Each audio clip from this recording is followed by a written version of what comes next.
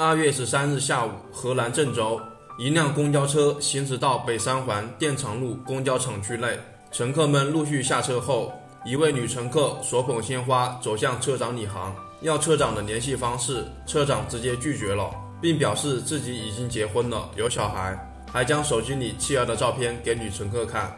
随后，女乘客放下鲜花并下车离开。他是不是经常坐你的车啊？也经常坐，但是也也要我微信，一直都没给他。没想到今天爆着花直接来了。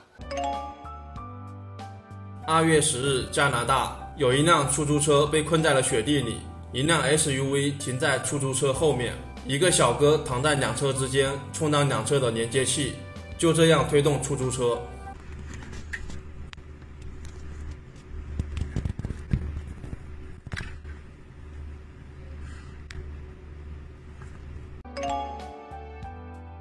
近日，美国一名七岁男孩小鲁道夫·英格拉姆在当地的一场田径比赛中，百米跑出了十三秒四八的成绩，打破了美国八岁及以下男子组百米赛十三秒六九的记录。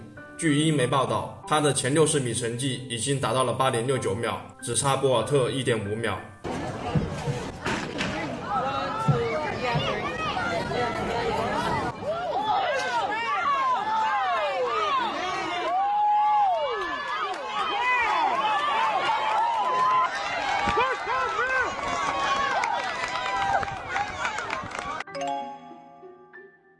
好快啊！又到了替身洗脑环节。